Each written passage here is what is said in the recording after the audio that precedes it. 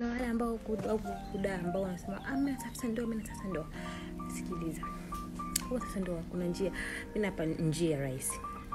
Utafuta mchumba mwanaume mmoja. Una fosi kwanza. Una fosi yani mnakutana leo. Baada ya siku mbili lazima uanze kukulana. Yani ndio njia pekee.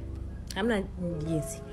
Mnakutana mna miti baada ya siku mbili unaliwa unaliwa unaliwa unaliwa mwaka mzima bure. Utaki kuomba hela utaki kuomba hela yani ni unakubali tu kuliwa kuliwa kuliwa.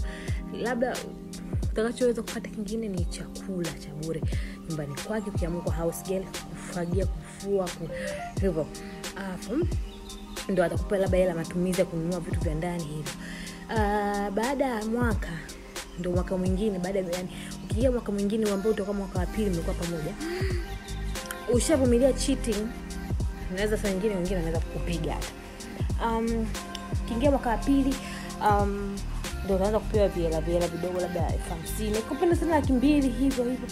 iphone nini utazienjoy mwaka wa pili pale.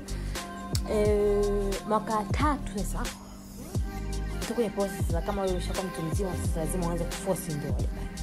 Unajuana ndugu zake ni nini nini. Unajuana mamamkwe mamamkwe unaenda kumpikia unamfulia. Yani unakuwa tu unakuwa kama katumwa kamoja hivi.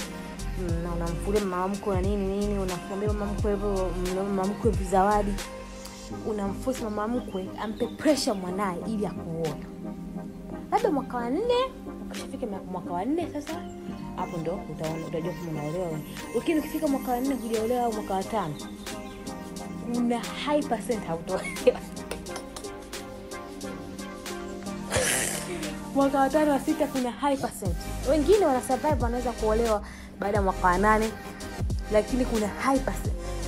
Hapo mshaachana mshaojiana, yani hapo katikati kuna vitu vingi. Kwa hiyo ili kuolewa lazima upitie mambo mengi. Kwa hiyo kama uwezi kupitia mambo mengi kuna two ways umalaya au kuna wazungu. Na nigeria afu kuna singo kama ungekuwa singo kweli tunaenda huko